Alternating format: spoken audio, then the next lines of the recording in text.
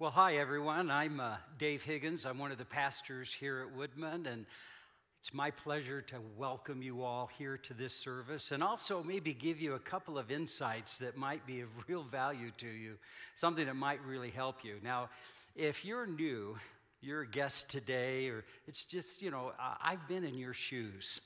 Uh, it hasn't been that long ago. You know, wondering where do I park? Uh, what pew do I sit in? Uh, where's the worship center? You know, and then I got in and I'm trying to determine, well, what kind of ministries and what kind of things? Is this the right place for me? And so we did something that day that I think would be really helpful to you.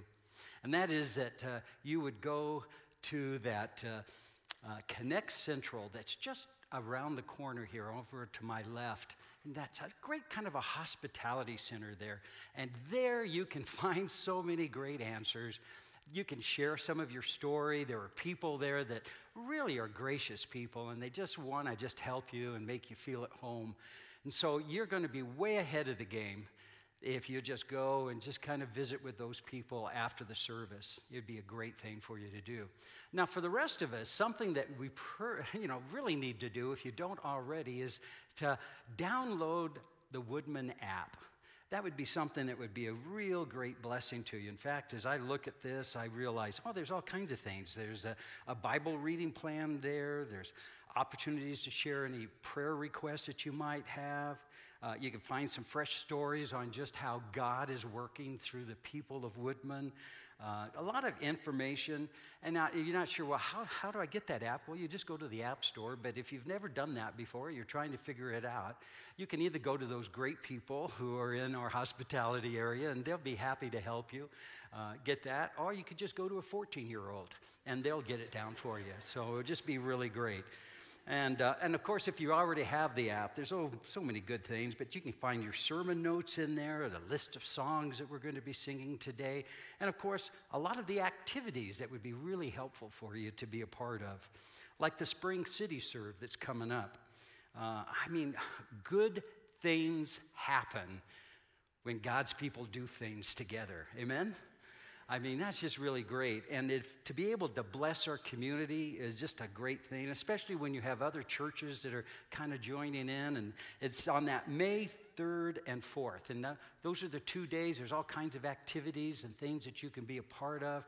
You know, there's some schools that need some TLC, all kinds of projects, something that you could be a part of. And again, you can look on the app. It'll give you all the information you need and also how to kind of sign up for that. We want to love well, don't we? That's a great way to do it. Well, hey, we've come to worship, haven't we? Let's stand, let's sing. Our God is alive and working in our, in our lives. Amen? All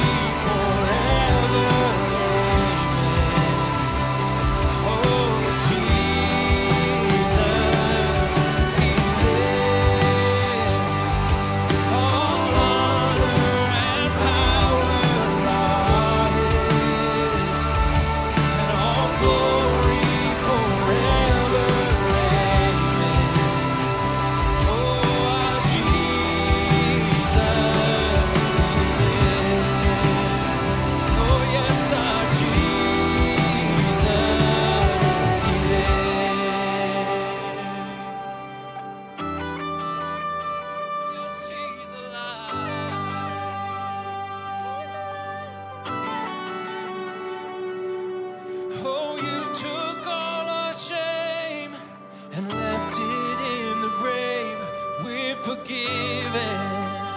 Yes, we're forgiven.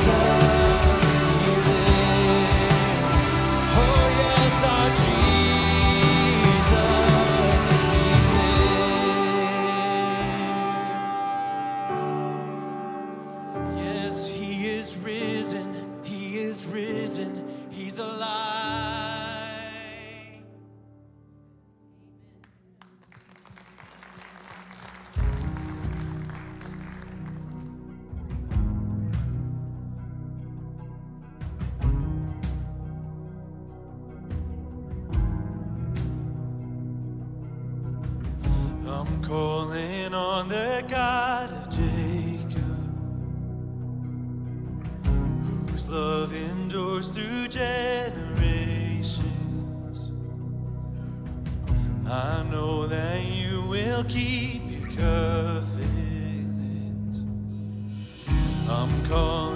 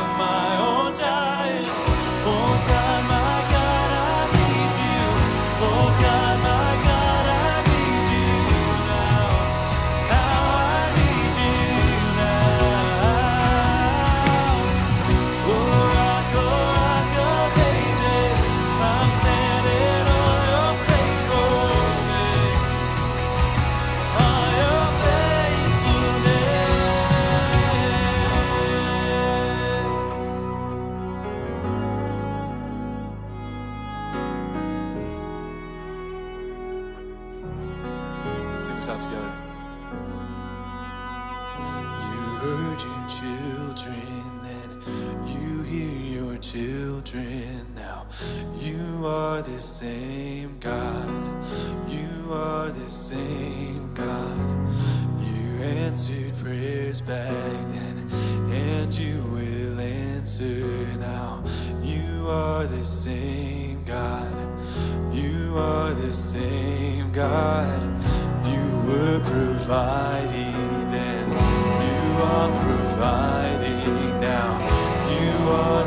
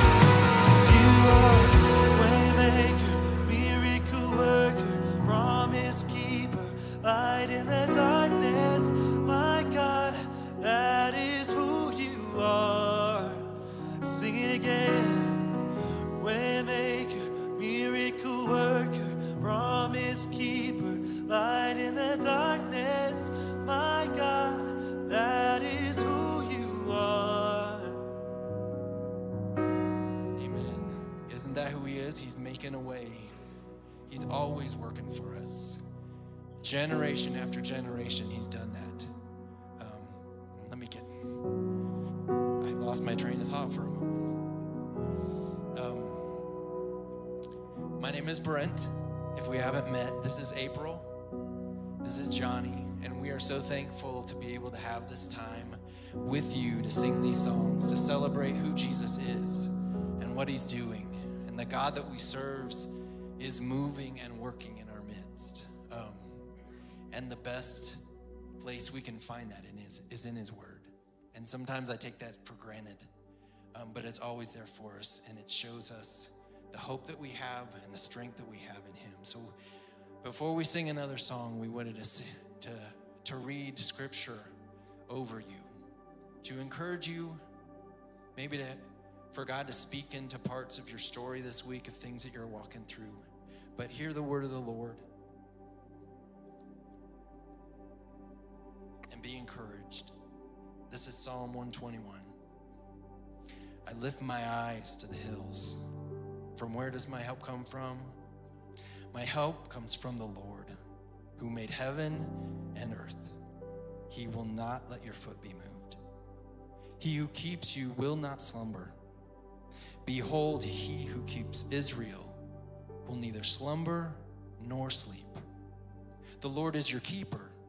The Lord is your shade on your right hand, and the sun shall not strike you by day, nor the, nor the moon by night. The Lord will keep you from all evil. He will keep your life, and the Lord will keep your going out and your coming in from this time forth and forevermore. This is from Romans 8, starting in verse 37. In all these things, we are more than conquerors through him who loved us. For I am sure that neither death, nor life, nor angels, nor rulers, nor things present, nor things to come, nor powers, nor height, nor depth, nor anything else in all creation will be able to separate us from the love of God in Christ Jesus our Lord. Ephesians 2, tar- starting in verse 4. But God, being rich in mercy, because of the great love with which He loved us, even when we were dead in our trespasses, He made us alive together with Christ. By grace you have been saved, and He raised us up with Him, seated us with Him in the heavenly places in Christ Jesus, so that in the coming ages He might show the immeasurable riches of His grace and kindness towards us in Jesus Christ. For by grace you have been saved through faith. It is not your own doing, it is the gift of God, not a result of works, so that no one can boast. For we are his workmanship. We were created in Christ for good works, for which God prepared beforehand that we should walk in them. And from Revelation 15 Great and amazing are your deeds, O Lord God the Almighty. Just and true are your ways, O King of the nations. Who will not fear, O Lord, and glorify your name? For you alone are holy. All nations will come and worship you, for your righteous acts have been revealed. Amen. Let's continue to worship and sing out to that Holy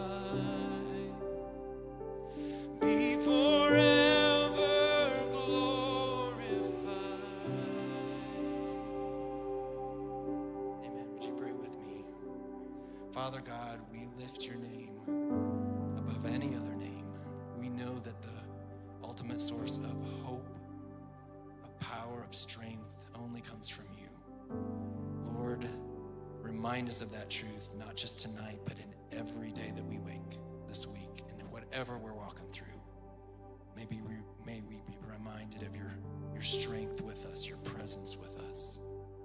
Lord, make us more like Jesus. Lord, I pray that you bless this offering that we're about to take and bless this time that we can study your word. In your name we pray. Amen. You may be seated. Jesus is my Lord and Savior. He was the Son of God.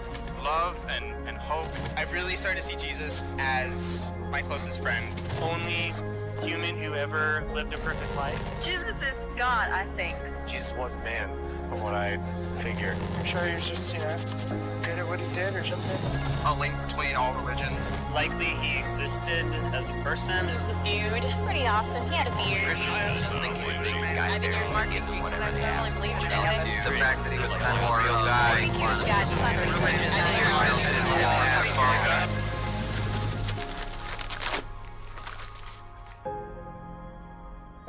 Jesus is the light of the world. Well, hello, church.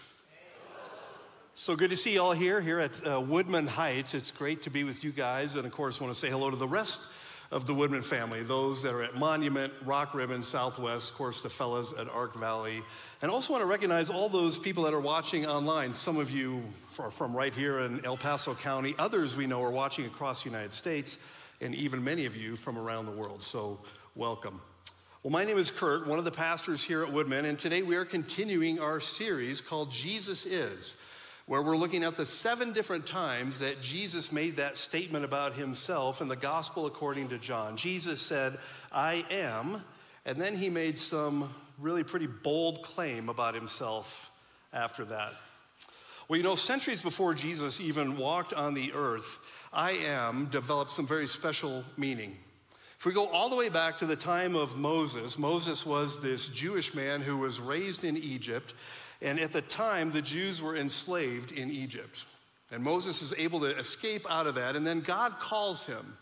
And God tells Moses, I want you to go back into Egypt, and I want you to bring my people out of slavery.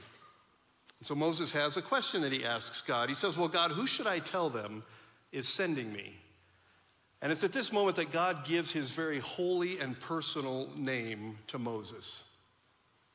God says, I am that I am, tell them, I am has sent you. These three little words, or two little, two little words, three little letters, I am, actually communicate a lot. God is saying, I am God. I am the only God. I am the creator, the author, the sustainer, the provider of everything. I am. And so it's this eternal sovereign name that God has given himself that was so revered that there were many Jewish people who would dare not even utter that name.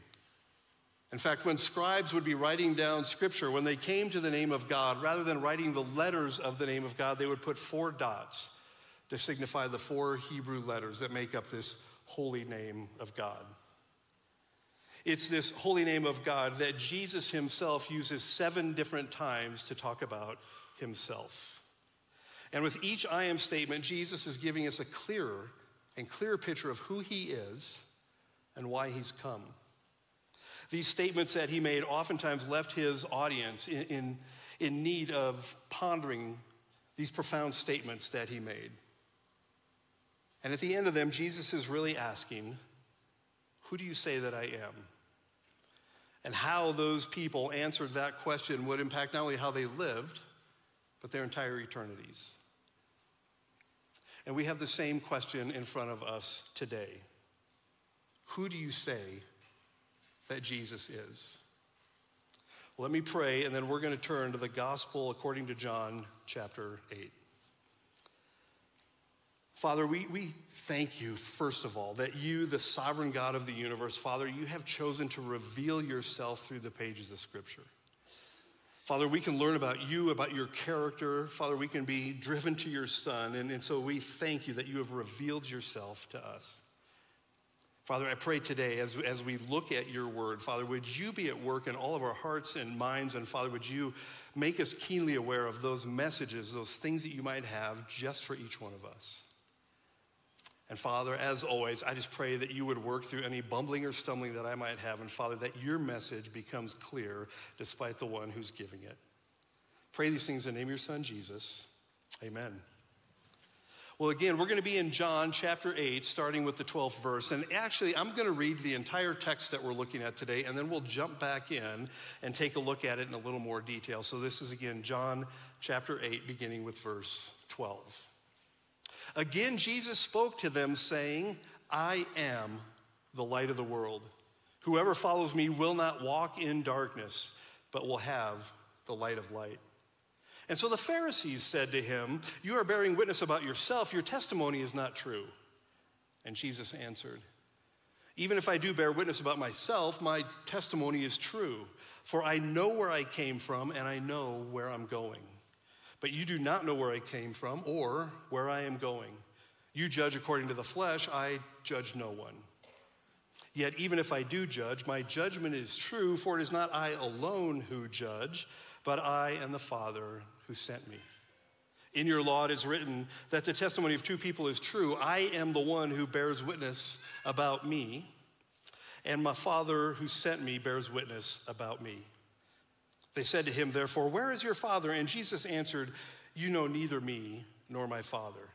If you knew me, you would know my Father also. These words he spoke in the treasury as he taught in the temple, but no one arrested him because his hour had not yet come.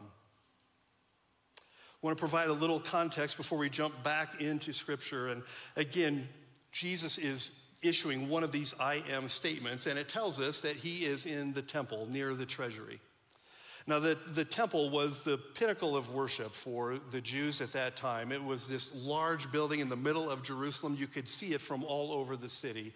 And, and that was the place where the sovereign God of the universe would dwell among his people. It was the overlap between heaven and earth.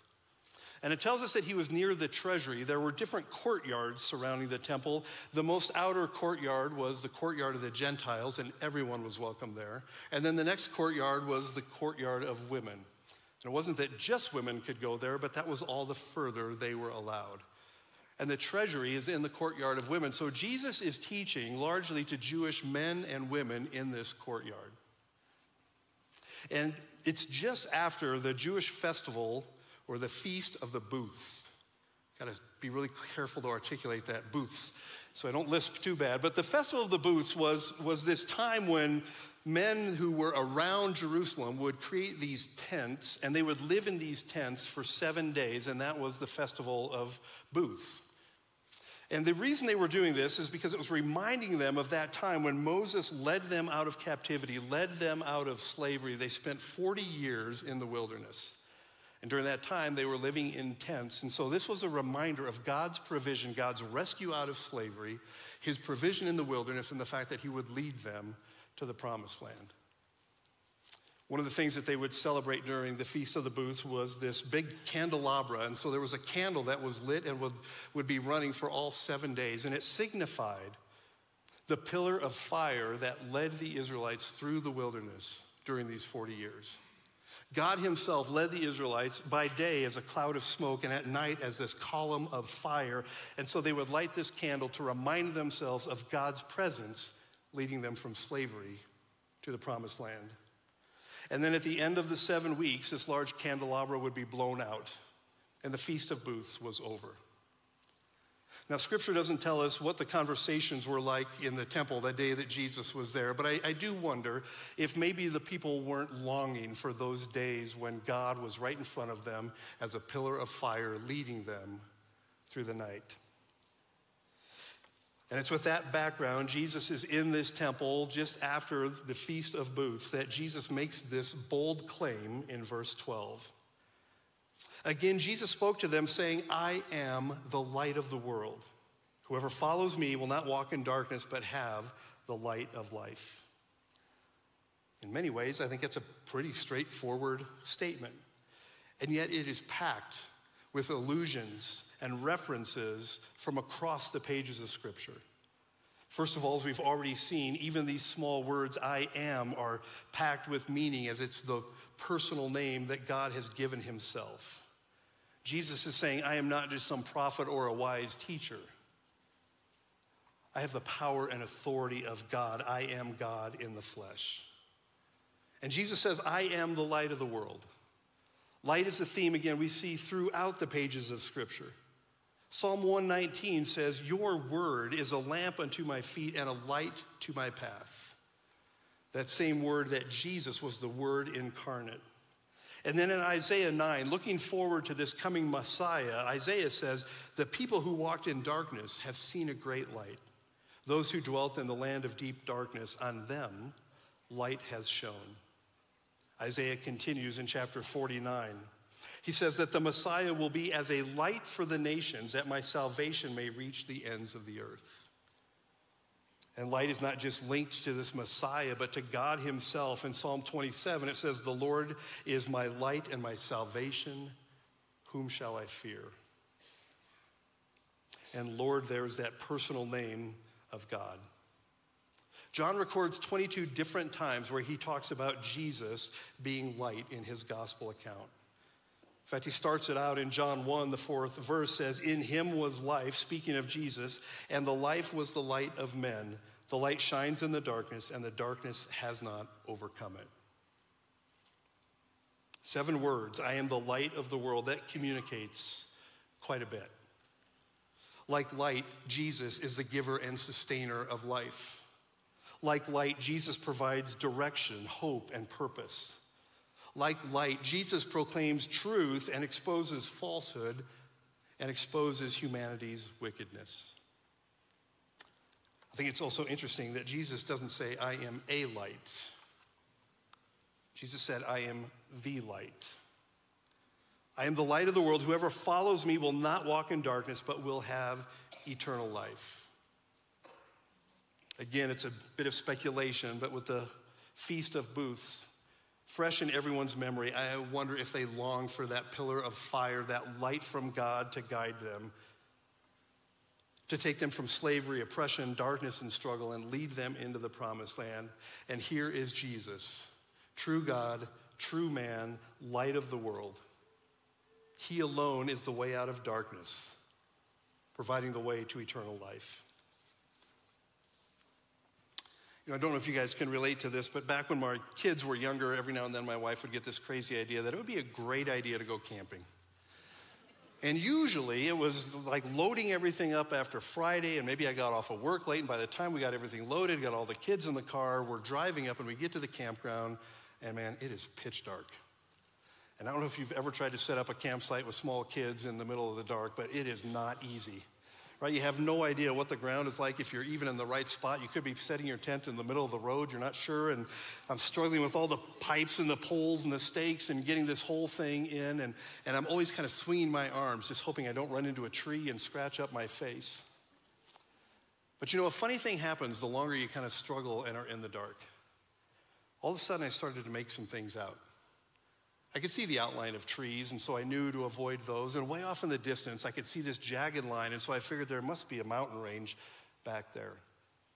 And the longer I was there, I started to feel a little bit more comfortable about being in the dark.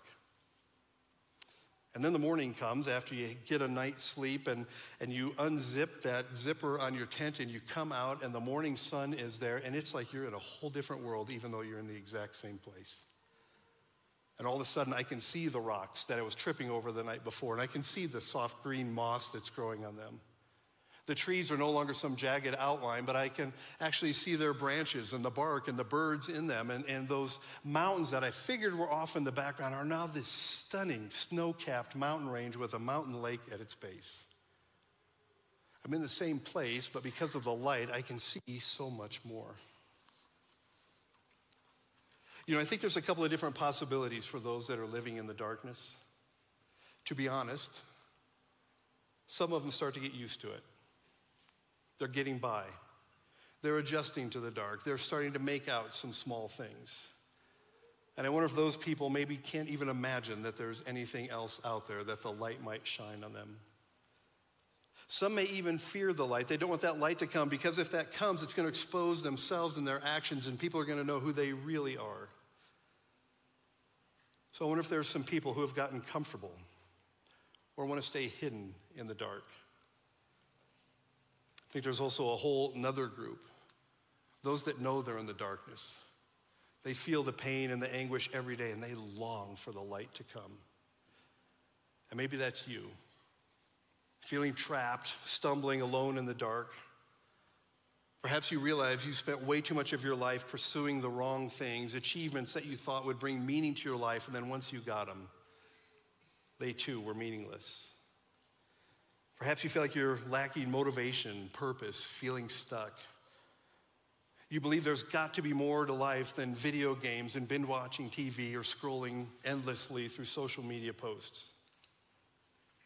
In fact, a recent study from Harvard found that 50% of young Americans, those in their late teens to their late 20s, 50% of Americans say they feel down, depressed, and hopeless.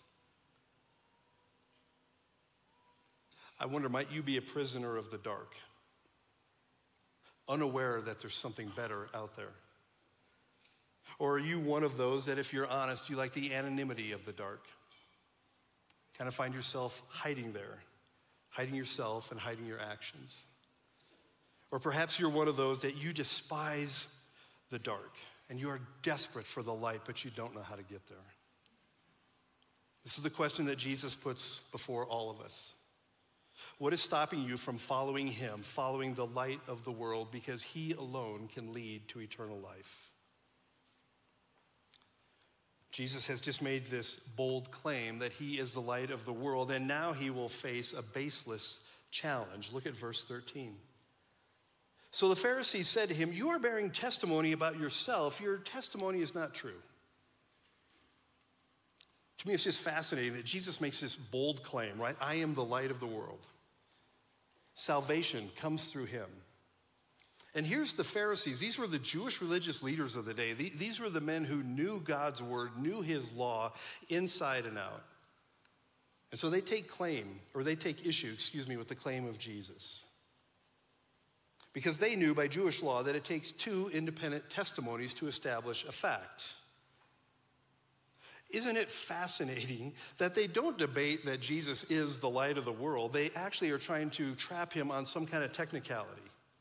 You, you can't claim to be God, Jesus, without a second witness. As if that was the most outrageous thing that he had said today, that he only had one witness. It's almost like these guys are, are drowning. Maybe they've been struggling in a lake and they're, they're barely keeping their heads above water. And any moment they're going to go beneath the surface forever. And Jesus comes rowing up in his little boat and he reaches out and he says, I'm here to save you guys. And they're like, Well, hold on a minute. I'd like to see the registration of your boat to make sure that it's okay. Like, are you, are you a, actually a licensed captain? We want to make sure that we've got all of all the details in line. And so this legalism stops them from seeing what is right in front of them. Jesus is offering them a way out of sin and darkness and into his eternal light. And yet, these experts in the law paid no attention to either their own need or to the claims of Jesus. Instead, they were just grappling for an excuse to discredit him. I wonder, might some of you be doing the same thing? You don't actually want to take at face value or to investigate and look at the claims of Christ, but we'll look for some other way out. Maybe it's as simple as just saying, I just don't believe it and moving on. Perhaps you think that all paths lead to God, and so Jesus can't be the only way. Maybe you think actually Jesus is okay, he seems like a good guy, but I don't think he's God. Maybe you think if there is eternal life and God's grading on a curve, I've got to be just over the top 50%, so I should be fine. I, I wonder how many of us are also too quick to deny the claims of Christ before we've really investigated him. Jesus now turns his attention and he addresses this baseless claim and he affirms that he is indeed worthy of their trust. Jesus does this in three different ways. First of all, in verse 14, he says that his testimony is true. Verse 14, Jesus answered them, Even if I do bear witness about myself, my testimony is true. For I know where I came from and I know where I'm going, but you do not know where I came from or where I am going. All right, Pharisees, let's just say for a moment that you're right, that I don't have any other witnesses. Let, us just say that that's true. My testimony is still true. Sure, we as humans, I, I, certainly do this. I can tell a story in a way that makes me sound more heroic, or, or maybe that will build sympathy for me. I can leave out details. I can add things to the story to make myself look better. But, but this is Jesus. Jesus, truly God, truly man. He is truth. Everything he speaks is truth. So he is no ordinary witness. And when Jesus says, I know where I came from and I know where I'm going, he's saying, Look, I, I am from heaven. And when my work is done here, I am going back to the heavenly places.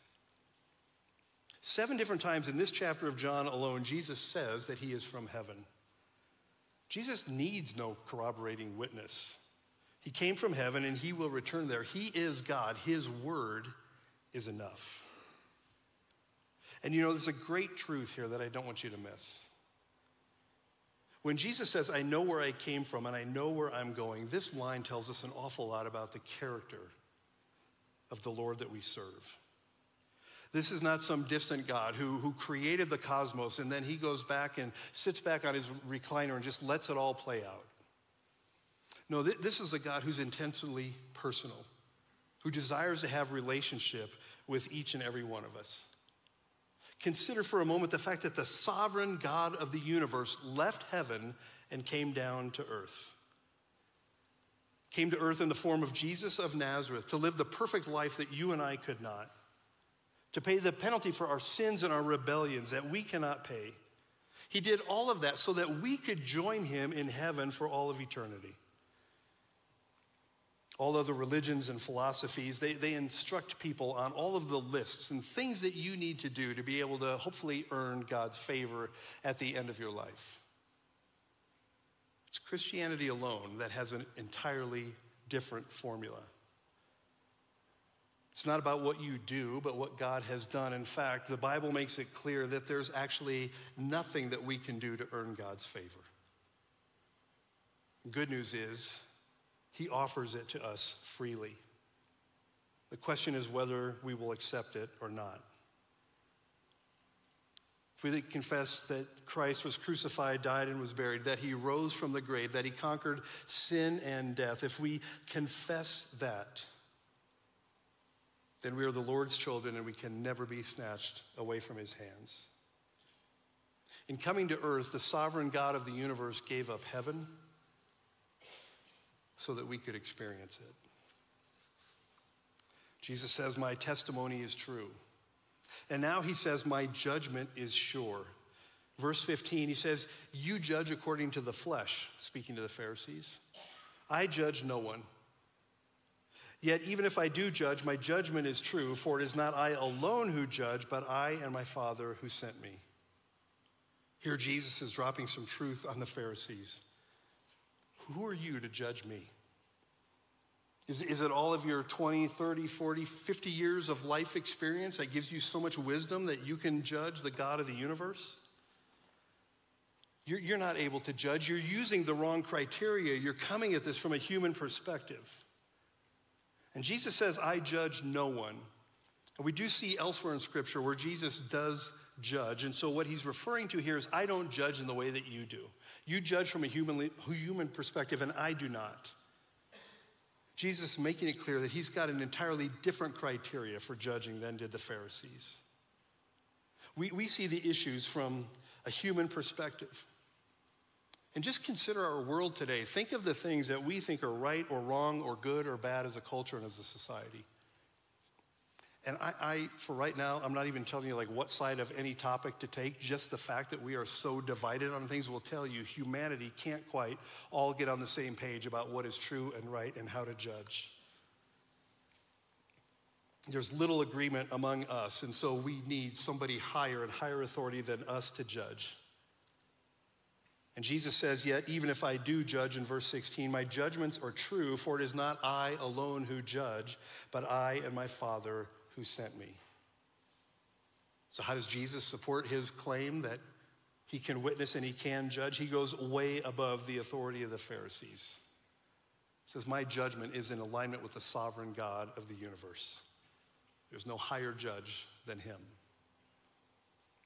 So Jesus has shown that his testimony is true, his judgment is sure, and now he says that his testimony has been corroborated anyway. In verse 17, in your law it is written that the testimony of two people is true. I am the one who bears witness about myself, and the Father who sent me bears witness about me. Kind of fascinating that Jesus says, your law.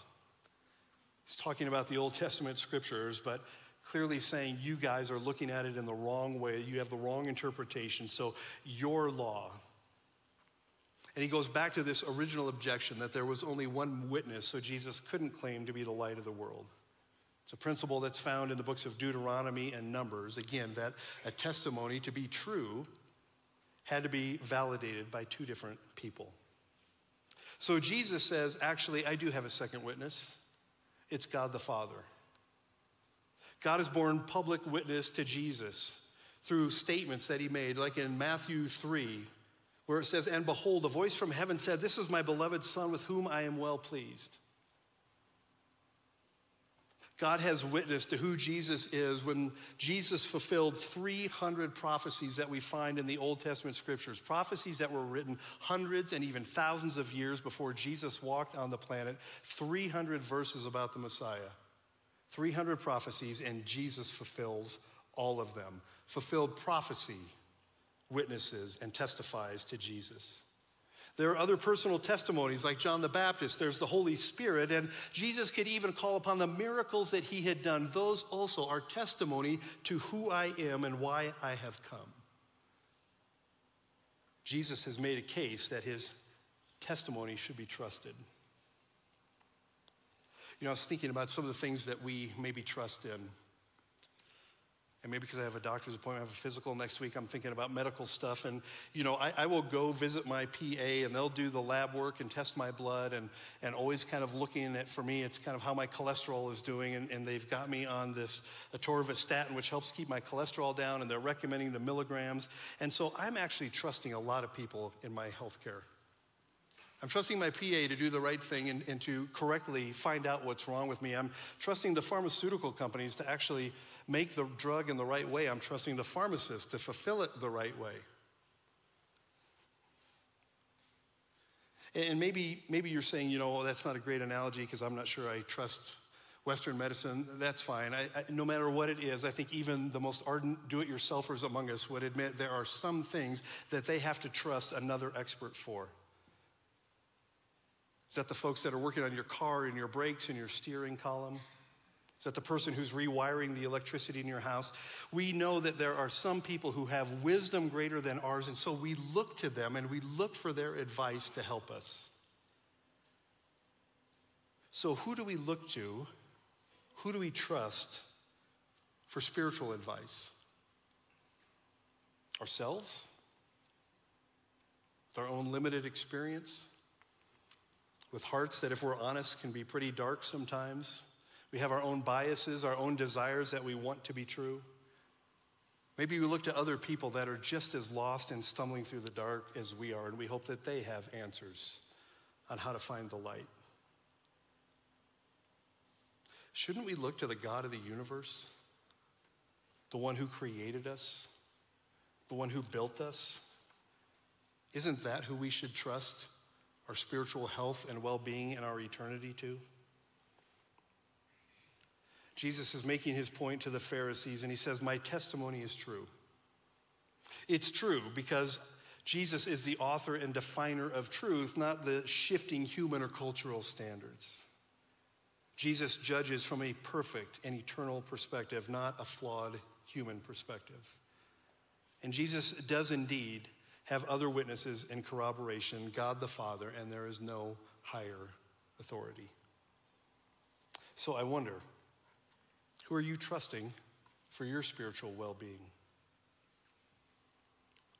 Jesus' testimony is true, and so now we are left with this lingering question of how will we respond? Going back to verse 16 again, it says, Yet, even if I do judge, my judgment is true. For it is not I alone who judge, but I and the Father who sent me. And they said to him, the Pharisees answered, Well, where is your Father? And Jesus answered, You know neither me nor my Father. If you knew me, you would know my Father also. These words he spoke in the treasury as he taught in the temple, but no one arrested him because the hour His hour had not yet come. Verse 19, where is your father? Jesus has been talking about his father, and now the Pharisees are asking, well, where is he? Where is your father? And if we fast forward a little bit to verse 27 of this chapter, we see that actually the Pharisees didn't even understand that Jesus was talking about God the Father.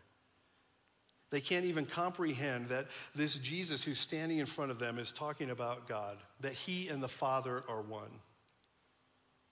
Even though these Pharisees, these men, were experts in the Word of God, had studied it their entire life, arguably knew it better than anyone, they didn't recognize the Son of God when he was standing right in front of them.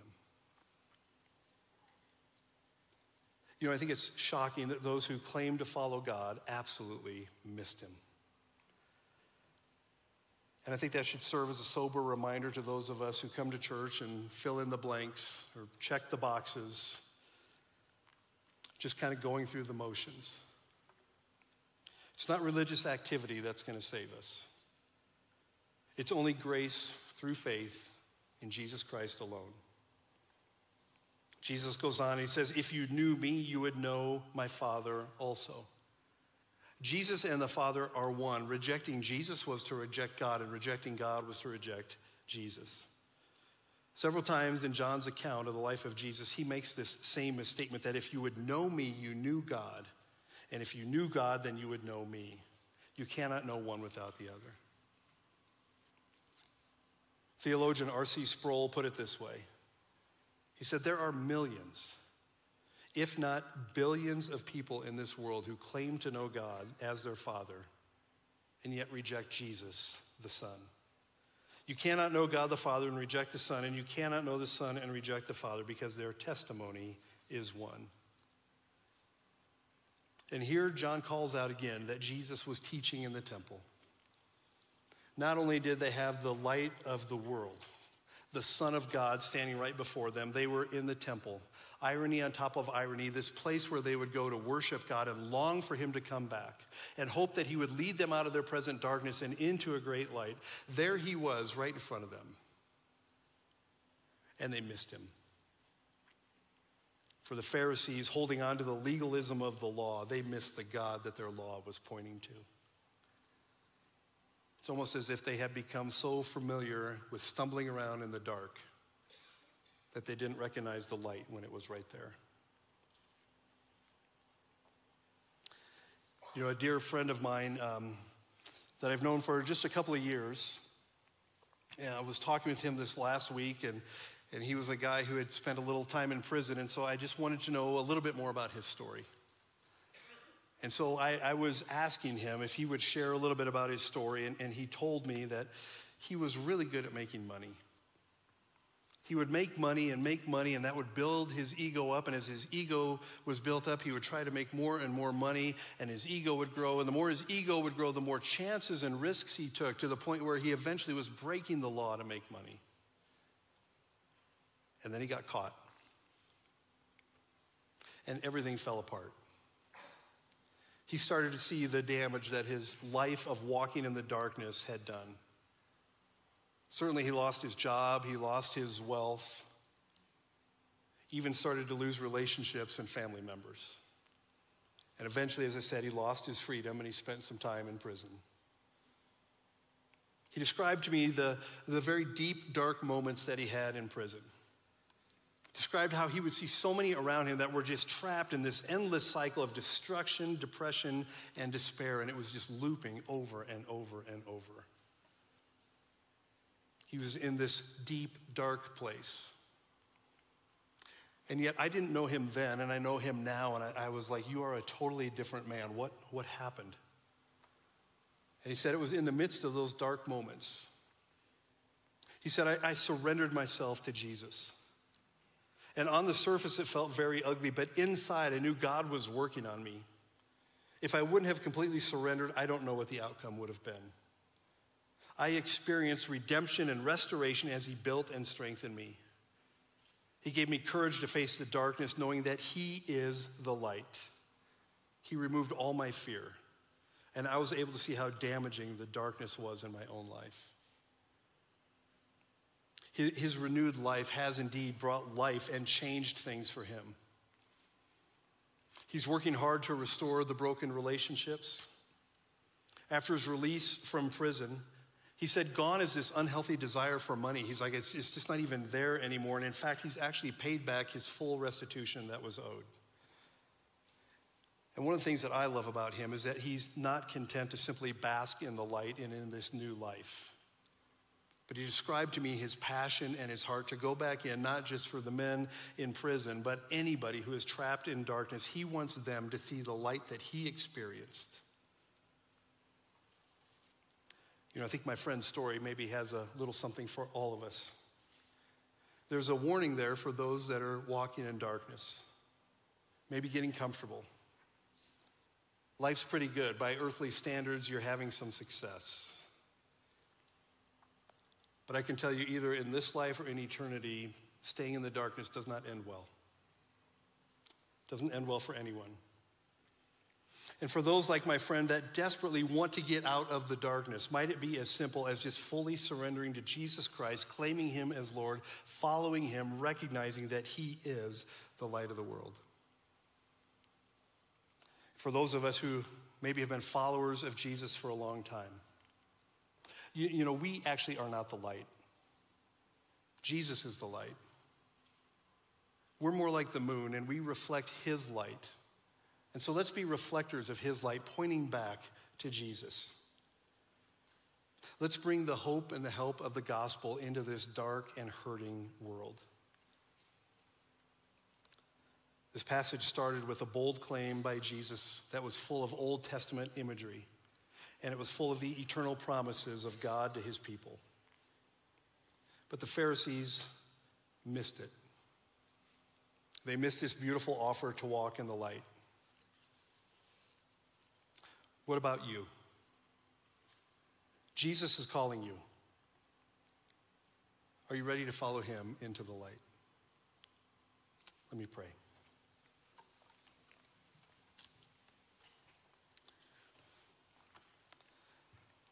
Father God, as we look at the,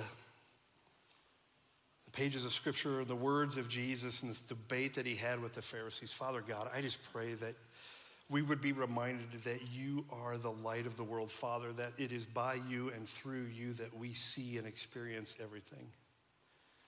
So, Father, I do pray for those that have not yet experienced that. Father God, might today be the day where they say, Yes, I want to follow Jesus. I want to experience that light. I want to be with the sovereign God of the universe for all of eternity. Father, for those of us that are here that have been following you for some while, maybe our light is getting dim and we're not shining into the dark places as much as we used to. Father, would you give us courage and opportunity to share the good news of Jesus Christ with this hurting world? I pray, Father, even this week that friends and relatives and coworkers, people that maybe have been on our hearts and minds, Father God, would you give us doorways into conversations? Would you help us to broach that topic, to go back into the darkness and pull people out and towards your glorious light? Father, we can do these things only by the matchless name of your Son, Jesus Christ, and it's in his name that we pray. Amen. Amen. Let's stand together and worship.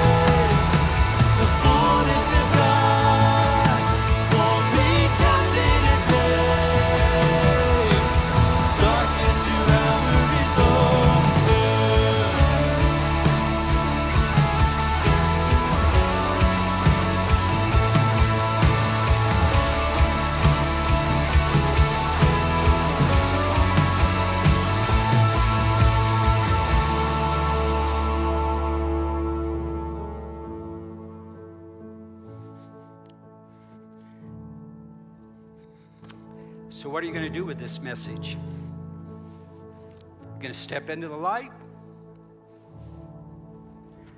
You know, we're here to help, we're here to assist, but His light is there for you to step into. And maybe, maybe you need to step with Him in that light, and you're kind of struggling in that area as well. I just encourage you take the truth that Kurt has just preached to us all. Do something with it. Take that step, whatever it is that he's asking you to do. We'll be down here in front. We're here to pray with you. We're here to encourage you, pray and help you with that next step, wherever it may be. But I want to leave with you this wonderful blessing as I pray this over you all. Now, to him who is able to keep you from stumbling and to present you blameless before the presence of his glory with great joy, to the only God, our Savior, through Jesus Christ our Lord, be glory, majesty, dominion, and authority before all time and now and forever.